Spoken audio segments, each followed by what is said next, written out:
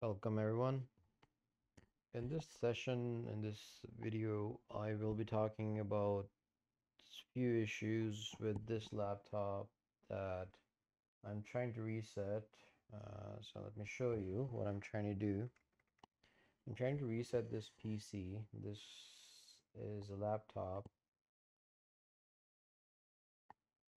Uh, nah, this is the problem. So, so I'm getting this error message every time I'm trying to reset this uh, to factory default. So the issue, so this is a laptop from Lenovo itself. So it's a Lenovo laptop. And then this laptop was out of the country. So somebody had borrowed it and they went out of the country. They went out of Canada.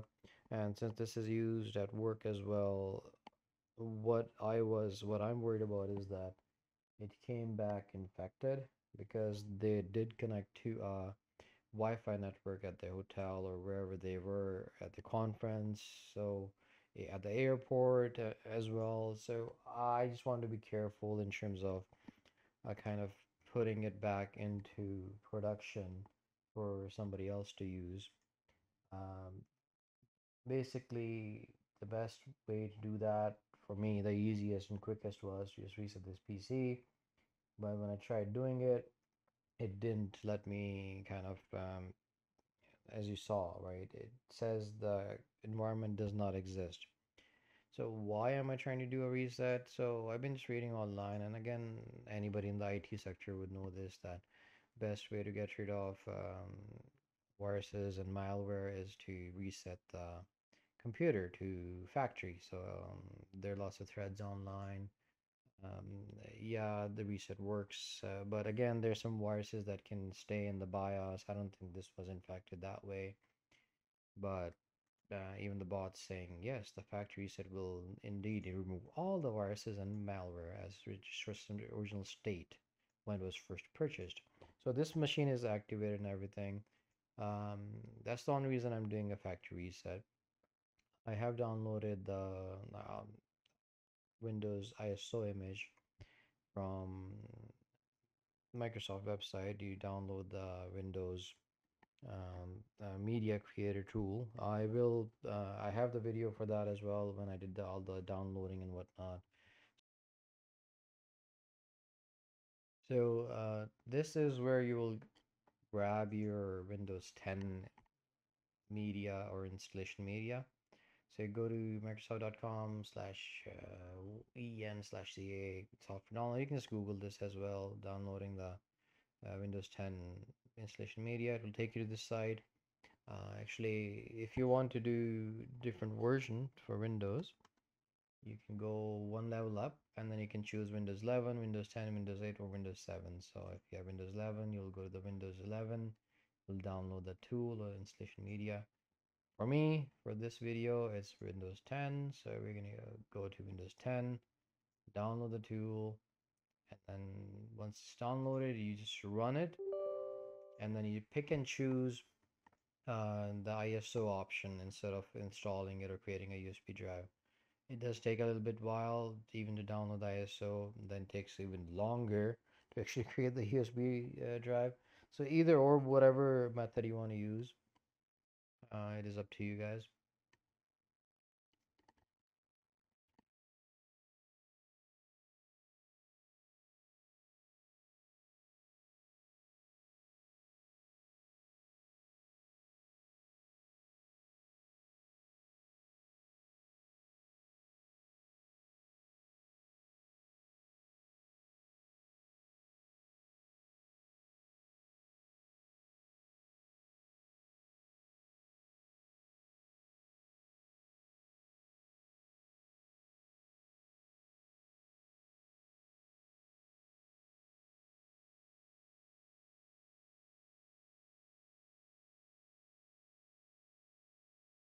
So instead of doing an upgrade for this PC because it's running Windows 10 as well, it will give you that option.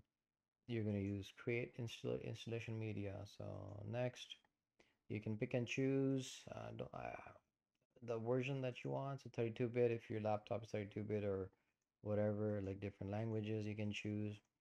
Um, since mine's 64-bit, I'm going to choose 64-bit, go next, and I'm going to use ISO file. When you click next, it will start downloading the file. It asks for the folder location. So again, uh, I had downloaded it. I have downloaded it. Uh, this was an afterthought to kind of add this portion into the clip because I already done this part earlier. I forgot to do the recording of it. So you download the file and you'll see the rest of the video after this section.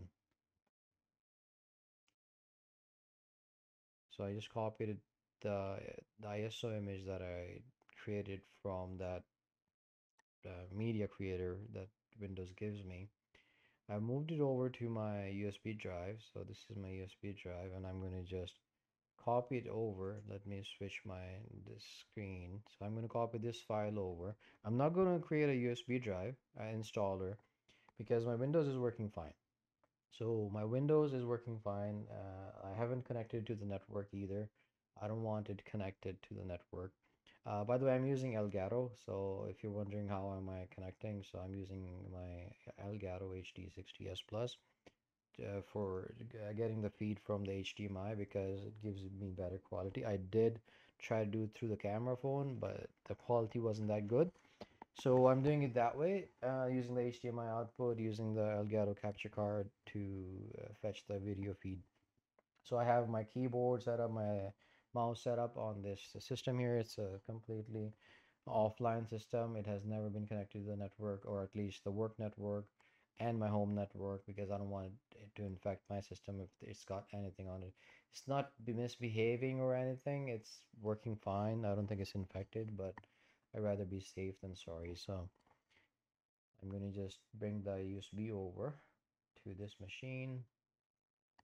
As usual, always uh, eject the uh, USB drive that you have. I just ejected that. Hopefully it's got enough USB ports for me. I think it does. Put that USB drive in here. So the problem is, uh, let me show you what the problem is. Uh, C drive. Let's just open the file here. So this is the Windows ISO image file. Uh, before I go into mounting and showing you uh, what to do, let me show you guys what the problem is. Um, let me open up a command prompt. So aside, I have two keyboards that I'm managing right now. I have USB, so let me command prompt. Open the command prompt run as administrator. I'm logged in as administrator. Uh, this should hopefully also work uh, if you're not. Well, actually, no. Resetting the yeah, computer, you need to be admin, so you have to be an administrator on the on the laptop. Uh, so let me show you reagent reagent. I think I spelled it right. Info. Okay, so reagent slash info. It says. Uh, there's supposed to be Windows RE location right here on this line. It has nothing on it. It says, so if I try to, so the fix, the first fix that you should try, if you see a proper path in here, this is what I would suggest. So if you're getting this error message while trying to do a reset, so if you get this error message, I could not find the environment, uh, recovery environment, uh, close that. This is the first thing you should try. So don't even try downloading the ISO. So you're gonna do reagent slash enable. You can try that. Oh right, uh, reagent. Did I spell it wrong? Oh, reagent C. I forgot the C. Uh, it says image not found. So if you have the image mounted properly, it will say enabled. I'll show you guys uh, what exactly. I'm going to leave this window open. Leave this window open. Let me change the size of it so it's a little bit more legible.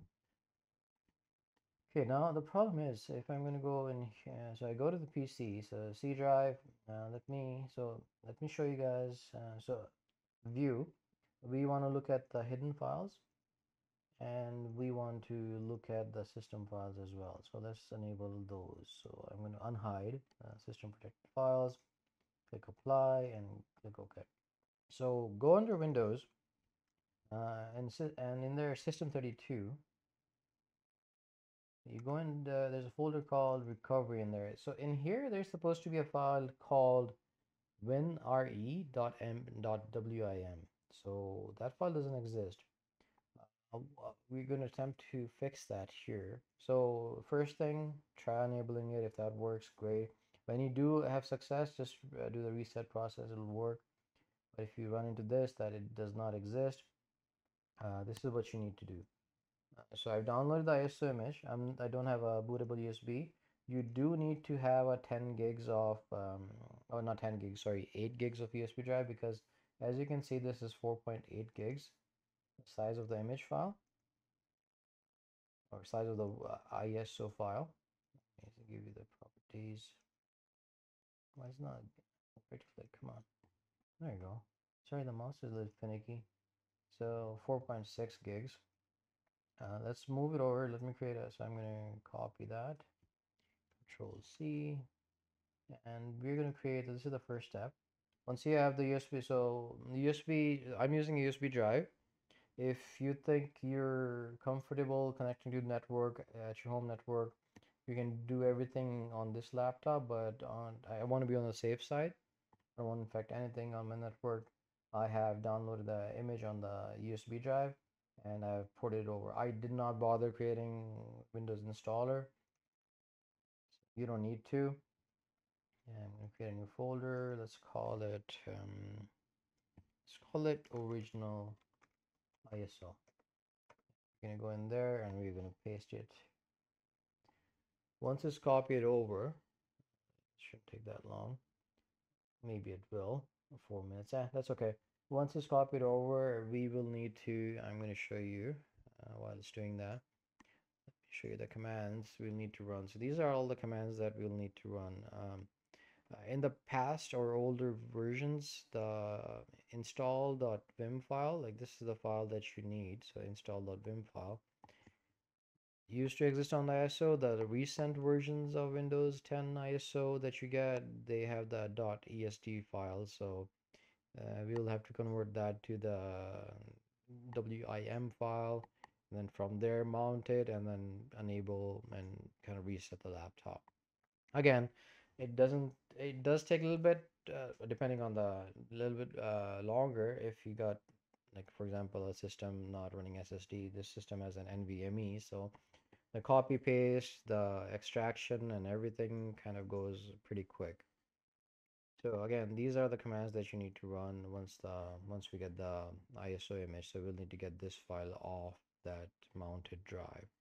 I'm going to pause this while this copy is happening uh, right here and I'll come back once the copy has completed. So the copy has completed let's do uh, I have my commands uh, open on my other screen that I'm going to look at and then uh, go over. Uh, so Windows C drive um, original so I created a folder called original ISO uh, we we need to create another folder so uh, that I'm going to call it mount WIM. You can call it whatever you want. It doesn't have to be mount or whatever. But uh, I'm going to create another folder. We'll need that. We'll use that. I'll show you guys in the commands that we're going to run now. Um, so I'm going to unmount. Let's do that. I'm going to eject the USB drive since we don't need it anymore. So that is gone. Let's open up not that. Don't need the store. Let's open the C drive version. So we have the command prompt still open. We are going to browse to this folder. Actually, before I do that, we don't need to browse this folder. We are going to mount it. So right click or double click, either or will work. Will, will work. By the way, you don't need to do this ISO mounting and whatnot if you already have the USB drive. So if you got Windows 10 USB drive, install install a USB drive Windows 11, you can just pop that USB stick in. And this is exactly what you'll see on the USB drive as well. So this is what you so you can copy over so you can follow along if you have the USB drive plugged in um, as well so you, we need to just copy over certain files so I believe this install.esd file exists in the sources but we are going to just uh, search for it. So let us search. So yeah it does exist in the sources folder. Uh, the size is 3.8 gigs. So let's copy it uh, let's copy it over to our ISO again we're going to use the same folder. We're going to use the same original ISO folder. I'm going to paste it in here. And we can unmount that that's all we need from that in uh, Windows installer so that is the only file that you'll need going to eject that as well we are now going to browse to the original ISO folder, go to the directory listing. You can see it's got install.esd file. So we need to run this command. I should have copied the command over to a text file and then then copy paste, but I guess um, this way you guys can follow along as well if you're doing it. Get uh, info slash web file install. And is it case sensitive? I think it is case sensitive. Hope I thought it was not case case sensitive. Case sensitive. GT or GT dash vim info.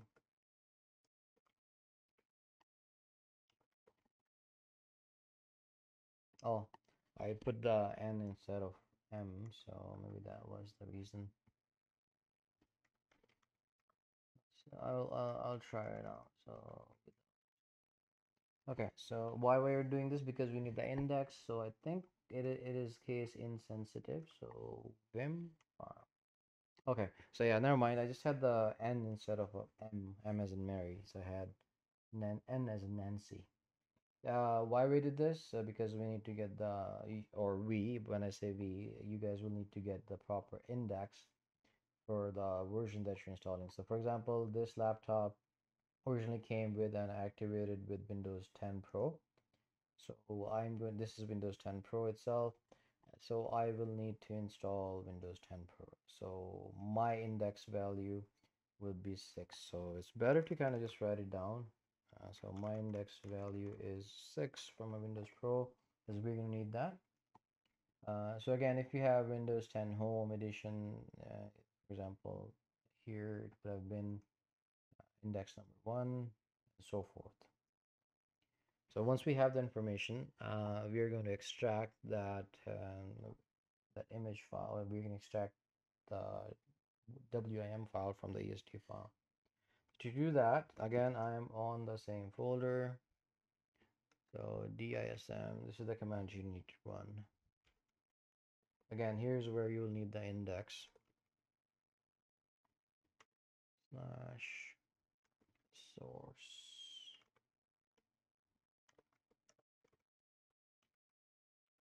I probably don't need to worry about these capital letters and whatnot install.esd again my my install.esd file exists in the same location where i'm running this command from. So make sure you're in the right folder with the file. Otherwise it might say a path not found or file not found so.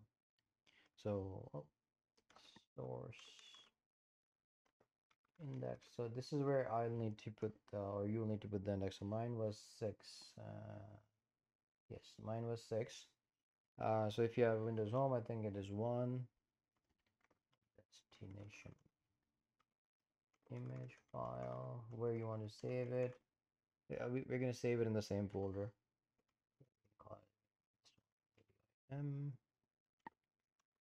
These are the flags we need to use.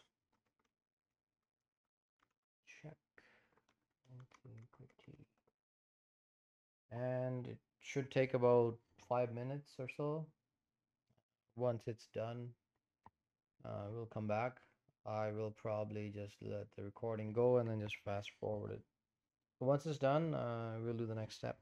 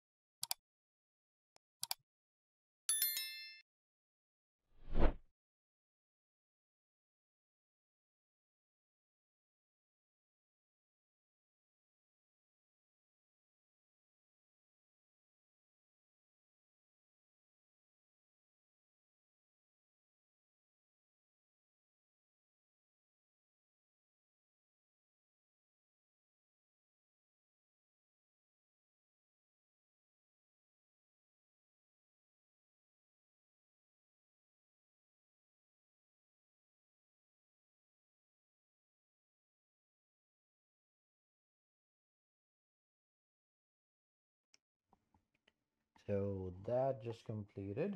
Um, and I'm going to show you guys what actually happens. So I have this PC, original drive. Um, so we got the installed WIM file extracted. So that is all we need. Now we're going to mount it. So uh, you'll be surprised. Uh, so when I do the mounting, you'll be surprised to see how much uh, expansion happens or how much space is actually being used. So let's run the other command that is uh, needed. So we got the so we got the installed the WIM file. Now we're going to mount it. So that's why now we're going to use this folder that we just created. So create a folder or you can use original ISO as the folder as well. So create a folder called mount vim or whatever you want to call it, mount dir or just mount. This is the command that you'll need to run. Again, sitting in the original ISO folder that I have here where the file is. I will need to run this command. So disk and dism mount dash vim slash vim file is where the file is located. So ours is located here. Original ISO slash install dot wim. I'm just hitting tab to get the path. So you can just do that as well instead of typing it in. So here you only just put this um, path where this file is found. Index one mount dir C column mount vim. So this is up oh, not vim uh, mount vim. This is the folder that I created. So, so if I if I so for example if you don't have the folder already you will get this message that hey the directory doesn't exist so make sure you have the mount directory or, or, or that folder created is called vim. It's going to finish or it's going to do the deployment. Okay, I think it takes a little while. Again, I will let it run and then come back.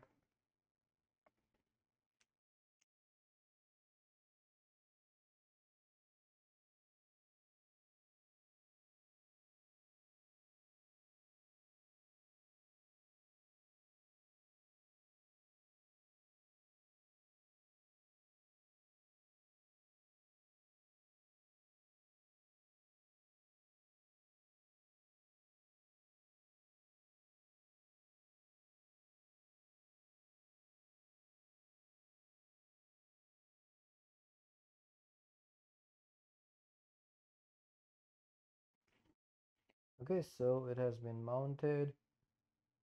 Let's see if you can see any of it. Uh, go in here. There you go. So uh, if so, oh, if I do the properties on this folder, it's going to be more than four gigs. The, like, look at the size of this. It's like a full install installer that you would have for Windows 10. So it extracted everything. Uh, in here, there's I I don't know if I need to do this, but uh, I'm going to show you guys that technically the file should exist here. So this is the file that we are after. Uh, it should exist in your see in your uh, Windows basically the the the laptop or the Windows instance that is corrupt that doesn't have the recovery image. So this is what we are after. That's it this one file. For this one file, we have to do all these things. So next thing, uh, you don't need to copy anything over. You just need to enable. So you're going to go reagent C. Now that we have mounted it, right? So we're going to do reagent uh, C slash, again, info. Uh, it's disabled. And now if I try enabling it, it says oh not found okay sorry so i do need to do this bit i am going to copy over sorry, I, I thought I didn't need to this do this step, so I'm gonna copy over the WinRME file. So we're gonna copy that, that we located it. So under your mounted folder, Windows System 32, recovery, and there there's the winre.wim file. We are going to move it over to the recovery folder and paste it. To this is your windows uh, your windows uh, that's corrupt. Pop it over and then we will try it again. It should work this time. And as you can see it did work. It said operation is successful the file should disappear. Yeah it does disappear after you run this command. But it is all good. We are going to try doing a reset and that is it. We should be able to do the reset on this laptop. Get started. Remove everything. There you go. I can change the settings. I want to clean up and delete workspace. So again I want to do full cleanup delete the workspace resources and no I don't want to download the windows and confirm and reset. So that is all you need to do to fix this problem. And if I do the info again it should give me a path.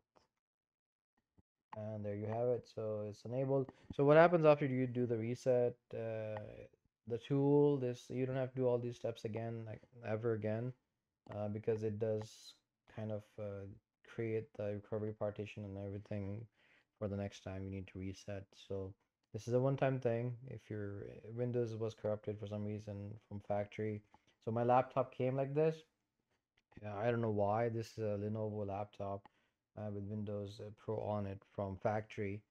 Uh, I did reach out to the support and uh, I wasn't able to get much help from them. Uh, so I ended up uh, Googling lots of things and was able to find this solution. I if you like this um, video, if you did this, it, if this did help you guys, please do post your comments below if this was helpful for you guys. Uh, it is much appreciated your feedback. Uh, I always like to see your feedbacks and comments. If you like this video, please do hit that like button. Please do subscribe. It does help the channel. It does help keep motivated building, uh, creating these videos and whatnot. Um, please take care of yourselves. Uh, stay safe. Um, over the past few weeks, I've been super sick with flu and whatnot. So not a fun time for me. The holidays were ruined for me because of that. So hopefully you guys had a wonderful holiday and um, please and uh, I hope you guys are getting back into the groove of working again after the holiday break. And please take care. Do subscribe if you can. Uh, it is much appreciated. Take care, guys. Bye.